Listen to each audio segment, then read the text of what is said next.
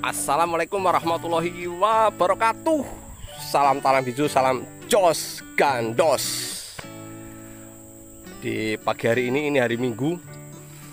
Di awal tahun Ini hari minggu.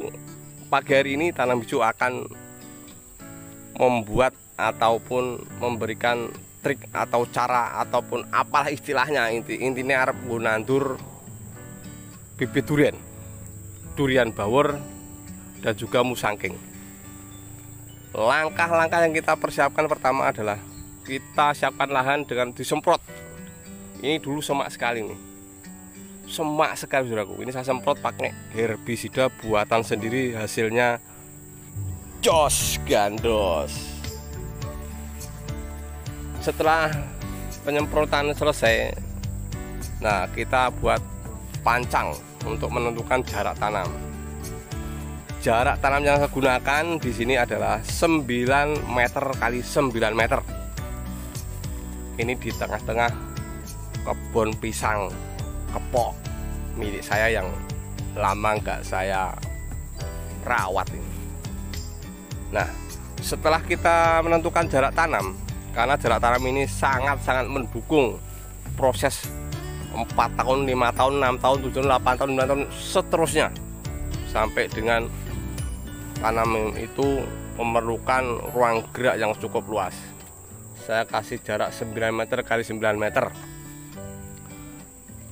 Setelah kita tentukan jarak tanam kita buat lubang tanam. Nah, lubang tanam ini. Ini sudah saya lubangi semuanya. Lubang tanam ini ukuran 60 60 60 60 60 kali 60 dalamnya juga 60 ini kemarin udah turun hujan yang agak menggenang air. Nah setelah kita buat lubang tanam kita berikan pupuk dasar. Nah, ini yang akan mendongkrak pertumbuhan awal tanam ini pupuk dasar ini. Apa saja yang saya gunakan untuk pemupukan dasarnya dan bahan apa yang saya gunakan? Sebelumnya saya minta dukungan kepada saudara-saudaraku yang baru gabung di video ini di tanam hijau ini dengan memberikan tombol like dan juga subscribe dan tekan tombol loncengnya. Teng teng. Nah nanti bila mana tanam hijau akan upload video terbaru anda orang nomor satu yang akan mendapatkan notifikasi. Oke. Yuk jangan lama-lama. Apa yang saya gunakan pupuknya? Lanjut jos.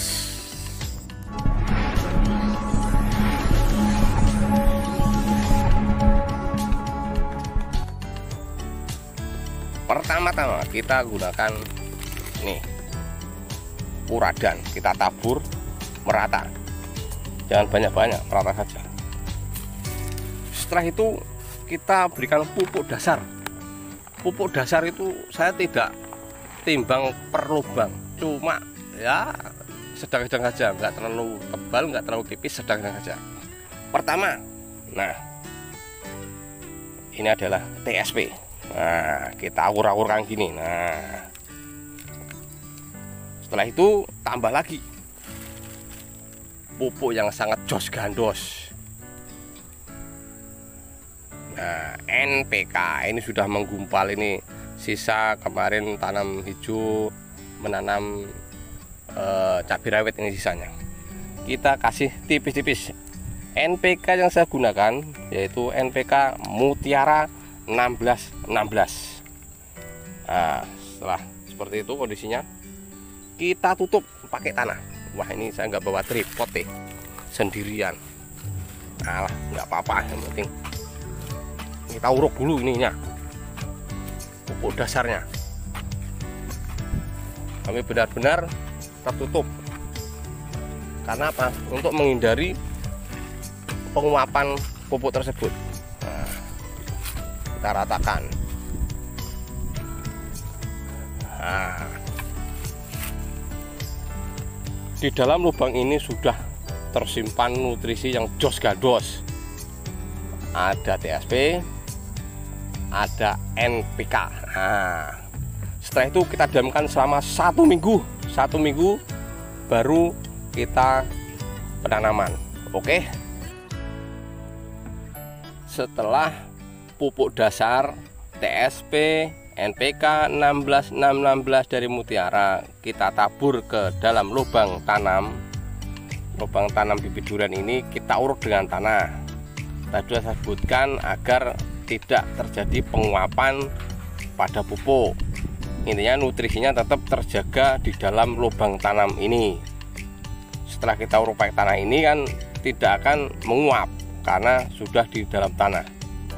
Nah untuk selanjutnya kenapa ini harus satu minggu?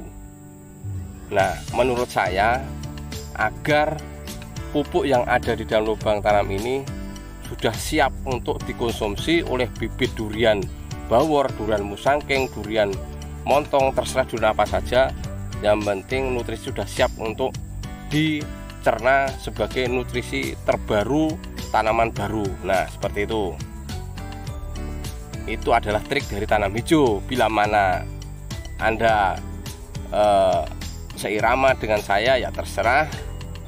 Kalau langsung ditanam juga terserah itu hak masing-masing ada semuanya. Oke itu aja saudaraku. Sebelum saya undur diri uh, saya doakan penontonku penontonku semuanya di dalam negeri di luar negeri di seluruh Nusantara ini saya doakan masuk surga amin terus dipermudah urusannya urusan dunia urusan akhirat diperlancar rezekinya diberikan kesehatan jasmani dan rohani sehingga dapat beraktivitas sehari-hari memenuhi kebutuhan hidup dan untuk selalu beribadah. Itu saja saudaraku. Akhir kata, bila taufik walidaya. Wassalamualaikum warahmatullahi wabarakatuh. Salam tanam hijau. Cos gandos.